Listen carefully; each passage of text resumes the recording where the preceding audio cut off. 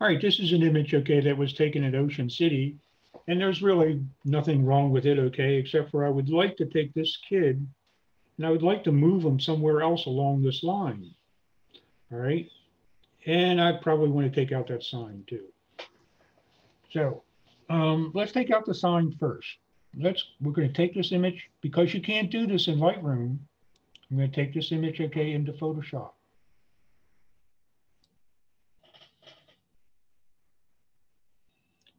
All right, and this is my layers panel, panel here. This is my tool panel.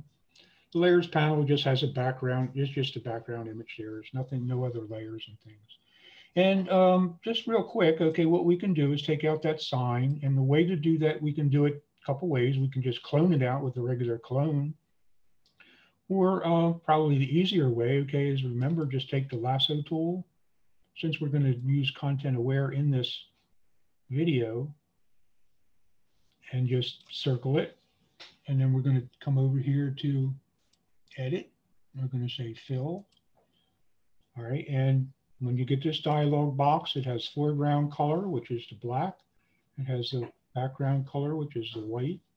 It has other choices too, but we want content aware. That means it's going to take a the computer, okay, is going to take into account all the tones in this image and it's going to, or that's surrounding this sign, it's going to fill them in itself.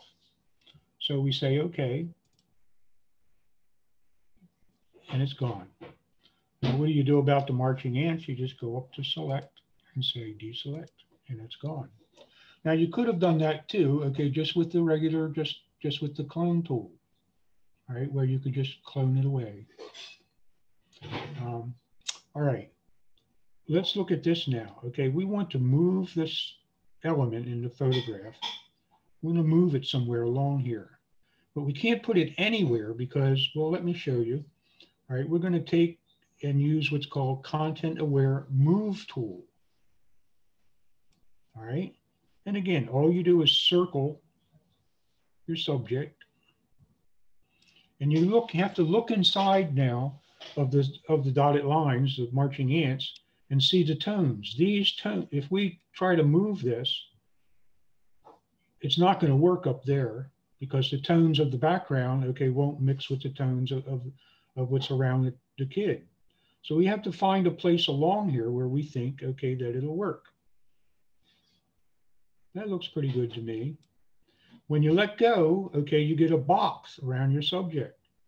All right, and just to show you, we don't necessarily have to do it, but if you grab one of these corners, you can enlarge your subject, you can shrink your subject, you can rotate your subject, all right, but when you're done where you got it, where you decided, okay, where you want to put it, you just hit the check mark up here at the top and the computer does its content aware.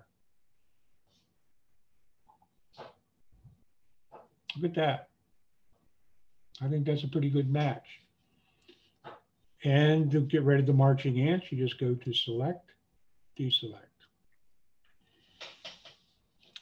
That's how you can use, okay, content aware, okay, to, to move an element in a picture.